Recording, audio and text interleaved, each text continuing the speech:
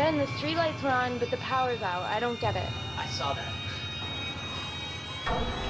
Never had a problem with the car alarm before. Ben, did you see this? What? Come on, get inside, me. Those are footprints, Ben!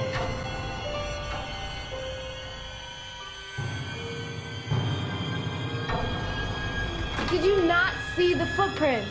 It was probably just the neighbor.